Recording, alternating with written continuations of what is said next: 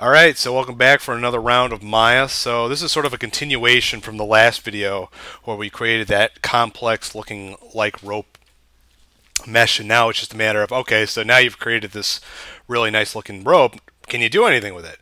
Of course you can, of course. So what you what I did was I went online, searched a bunch of videos, and somebody was able to show me exactly how to create um, that rope-like feel and then attach it to some objects and then have it um, just kind of go, you know, back and forth. And I figured, oh, might as well pass it along to everyone else. So this is exactly the result you get when you do that. So watch this. So now we've created this rope and it's actually attached to both of these objects, sort of kind of going back and forth. I actually have a preset um, attached to it, so that's probably why it's moving at a slower pace. So if you go to your settings here, you can see you have a bunch of really interesting, you know, options like airbag, beach ball, burlap, chainmail, honey, silk, putty, rubber, you know, the list goes on and on. So it's just a matter of what you want to go with. But this is exactly what you can do with that rope and sort of have it go back and forth and then add a bunch of, you know, other um, features to it. All right, so without further ado, let's get started. So let's just exit out and destroy the scene and start fresh. So the first thing I did was created some cubes.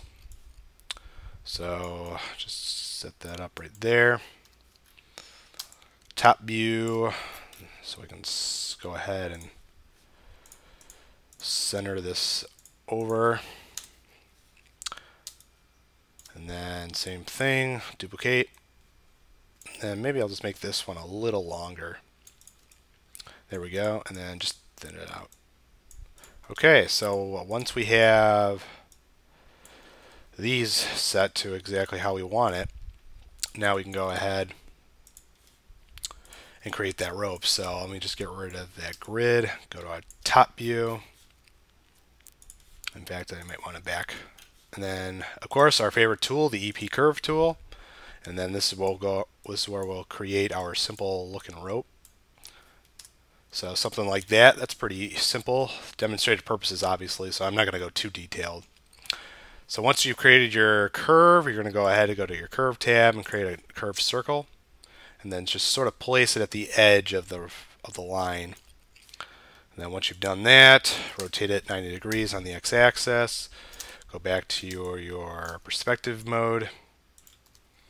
And then center it to exactly how you want it. And then I guess size it down depending on how small or big you want the width of the rope to be.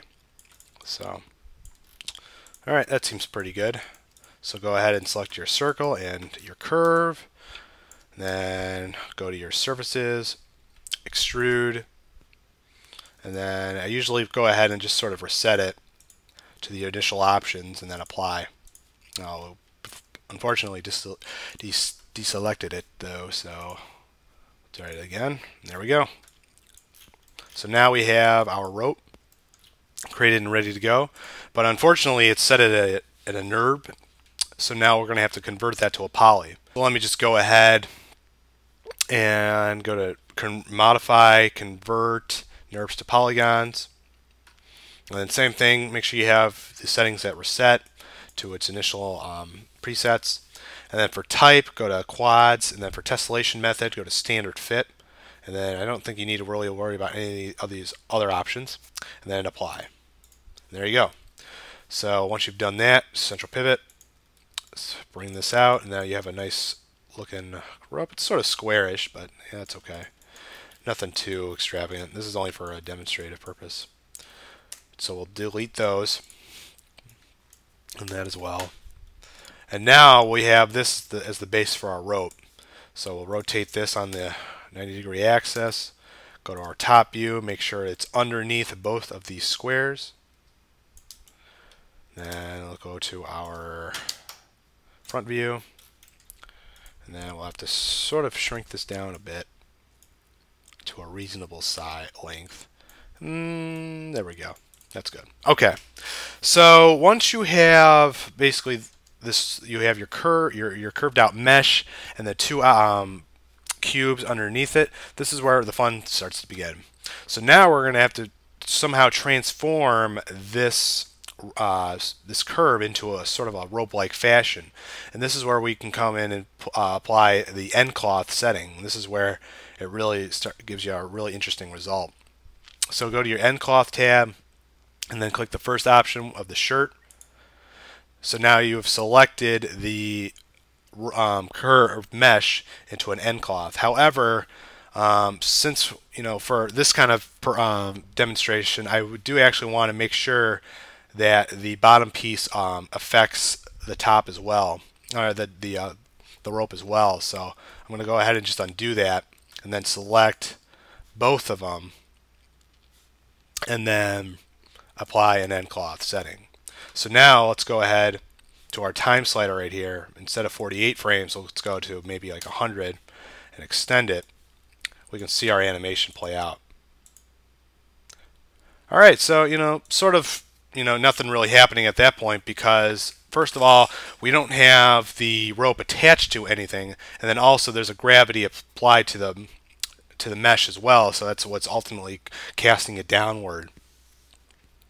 So, in order for us to not let that happen, we have to constrain the rope to these two objects.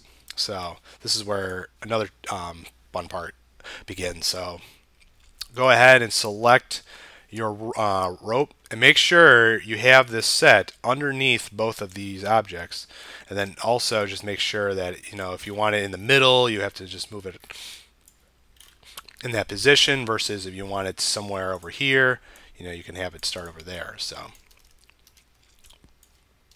So go to your front view. Kind of zoom in on here and then we're going to go ahead and to our vertex mode.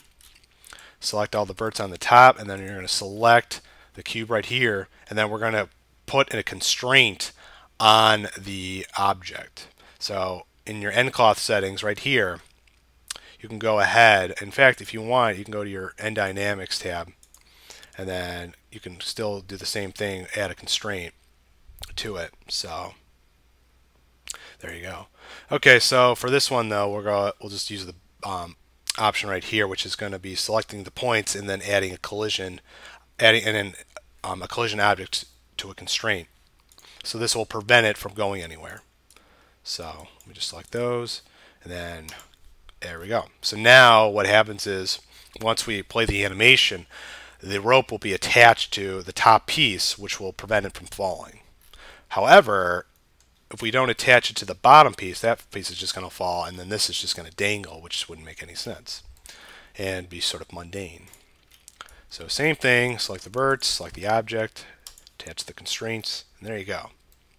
So now let's go ahead and let's see if we can increase this to 200 so we can sort of play it out to its full extent. And then let's just play it. And there we go. So, you know, sort of interesting you know, good result. Definitely, uh, you know, you know, I guess the bottom piece, you know, you could probably maybe add some more weight to it, but at the same time, I think it looks pretty neat when you add that constraint to it. At the same, yeah, see, that's the the the initial thing is we added that nCloth option to this um, cube, which will allow it to sort of let that dangling sort of fe um, feel um, have it be applied to it. So. Now we can go ahead and sort of play with some of the features with I was showing you before at the beginning. So we can go into our um, select your object, and then we're going to go into our nCloth one uh, nCloth shape one option, and then we have the presets right here, which will give you us some options as far as what we can, you know, have the rope, you know, act like. Let's say for an example, we have it act like I don't know, honey.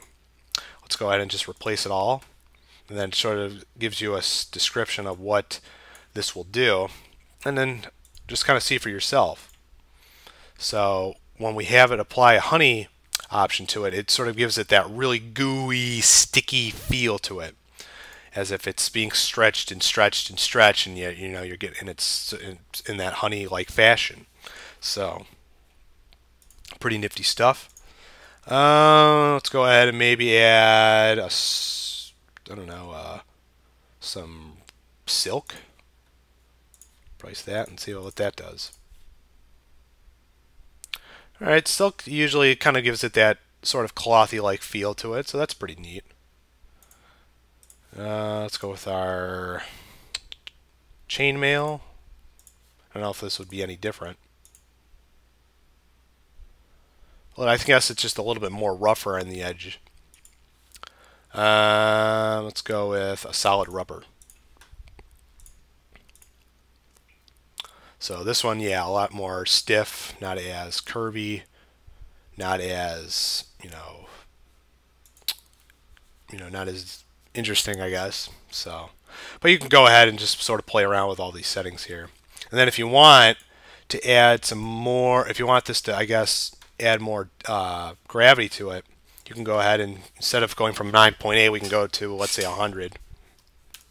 But then watch what you get as a result you know, now you got this thing going all over the place. So it doesn't seem very, you know, plausible. So that's probably why you would probably maybe decrease it to say maybe 20 and then gives it a little bit more life to it. Though I don't see how it, you know, see this part right here doesn't really make any sense when it sort of comes up at an angle. So maybe at its initial setting, we'll just give it a 10.